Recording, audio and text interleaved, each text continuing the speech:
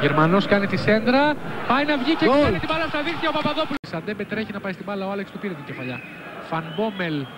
Οχ. Κεφαλιά. Κίνδυνος εδώ βγαίνει ο Μπίσλι. Πλασάρει ο Κυριάκος. Δεν μπορεί γκολ ένα-ένα.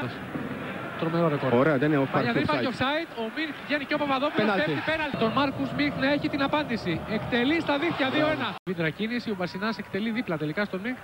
Ποιος θέλει από μακριά να περάσει. Ανοίγεται πολύ ωραία. Κάνει και το ο Γερμανός δοκάρι στα δίχτυα για τον Σαν Μαρτεάν. Ο οποίος κοντρολάρει κεφαλιά και από τον Μπάουμα. Κερδίζει ο Σαν Μαρτεάν ευκαιρία για το τέταρτο γκολ του Παναθηναϊκού. Μπράβο.